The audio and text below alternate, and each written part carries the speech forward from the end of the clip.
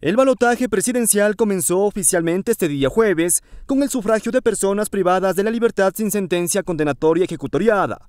En Azuay, 27 internos efectuaron su derecho al voto bajo la coordinación del CNE y el SNAI. 20 varones y 7 mujeres participaron de esta jornada democrática.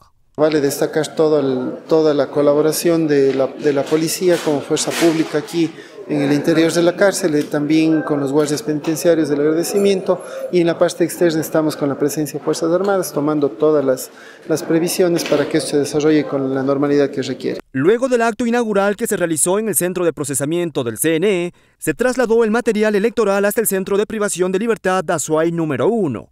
El acto cívico tardó una hora en desarrollarse y posteriormente Fuerzas Armadas resguardaron el material.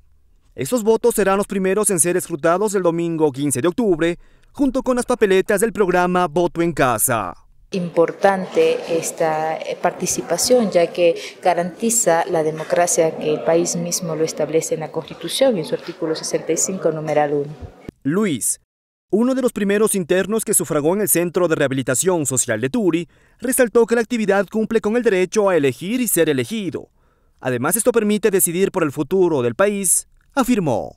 Depende de nosotros crear el futuro, no solo para las personas que vienen en camino, sino en sí para el desarrollo del país. Importante el papel porque lo necesitamos, igual que sistemas privados de la libertad necesitamos.